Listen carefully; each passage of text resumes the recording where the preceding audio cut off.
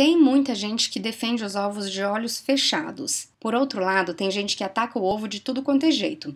Mas para mim, eles não são mocinhos nem bandidos. E eu vou te explicar agora por quê.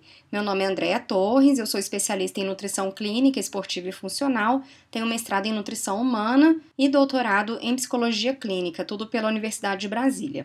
Bom, um ovo de aproximadamente 50 gramas fornece cerca de 145 calorias, a clara fornece bastante proteína, cerca de 13 gramas, e a gema fornece bastante gordura e também muito colesterol, cerca de 396 miligramas.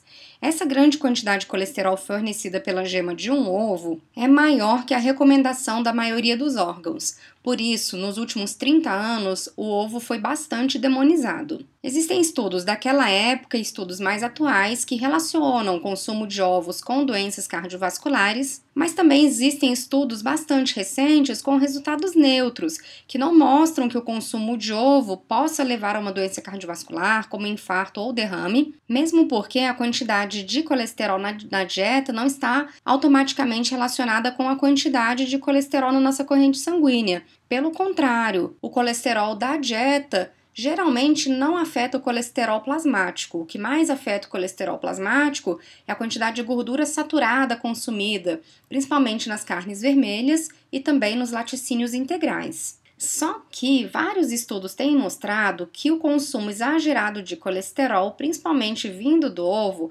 aumenta a oxidação, ou seja, a perda de elétrons, da lipoproteína de baixa densidade, ou LDL colesterol, também conhecido como colesterol ruim. Essa oxidação, essa perda de elétrons, aumenta sim o risco de aterosclerose e de outras doenças dos vasos, do coração e do sistema nervoso. A lipoproteína LDL é uma lipoproteína muito importante. Todo mundo produz a lipoproteína LDL e a função dela é transportar gordura e colesterol e também vitaminas lipossolúveis, A, D, E K do fígado para os órgãos-alvo. Então, por exemplo, é importante que o colesterol chegue nas nossas gônadas para a gente produzir hormônios sexuais, que chegue na pele para que a gente produza vitamina D. Porém, quando esse LDL sofre a oxidação, ele acaba inflamando vasos, inflamando artérias e aumentando o risco de aterosclerose. Por isso, os estudos, mesmo os recentes, não indicam o aumento do consumo de ovo, principalmente para quem já está sob risco desse tipo de doença.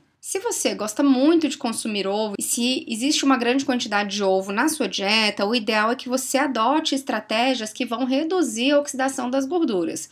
Então, existem estudos mostrando, mostrando, por exemplo, que o açafrão, que é muito rico em curcumina, diminui a oxidação das gorduras, assim como compostos presentes no chá verde, no café, na pimenta preta, no tomate aquecido e adicionado de algum tipo de lipídio, como azeite. E aí existem inclusive estudos brasileiros que mostram que alimentos como a jabuticaba, principalmente a sua casca, também vão fornecer compostos que diminuem o risco de oxidação das gorduras. Então, na minha opinião, a dieta precisa ser bastante variada e não pode ter nenhum excesso de um nutriente ou um consumo exagerado de um grupo alimentar, mas também não pode existir a falta. No caso do ovo, esse consumo excessivo também está relacionado, por exemplo, ao risco aumentado de câncer, como câncer de cólon, câncer de reto, câncer de bexiga, câncer de próstata, câncer de mama e câncer de ovário. Então, assim como o consumo de colesterol aumenta a perda de elétrons do LDL colesterol, o consumo exagerado de ovos e também de colina parece aumentar a produção de radicais livres e por isso existem vários estudos mostrando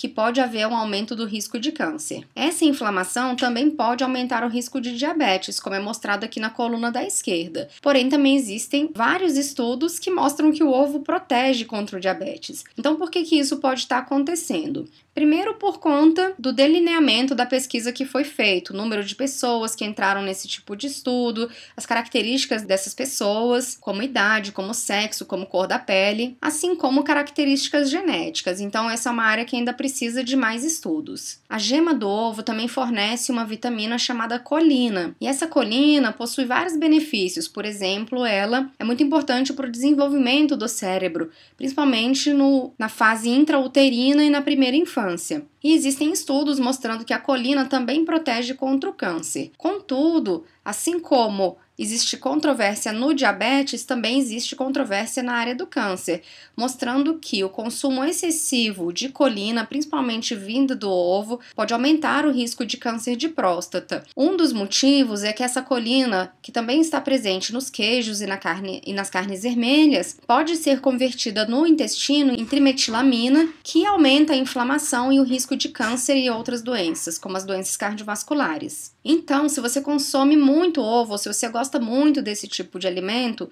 além daquelas estratégias já destacadas ali atrás, você pode também estar substituindo parte desse ovo que você consome por outros alimentos. Então, se você gosta de usar, por exemplo, o ovo nas preparações, o tofu, a banana, o purê de maçã, o iogurte de soja, a batata doce e até a linhaça podem dar a mesma consistência que você está buscando nessas receitas, mesmo sem a utilização do ovo. Bom, para mais informações sobre nutrição e alimentação, eu te convido a acessar o meu site nutrioga.com.br. Muito obrigada!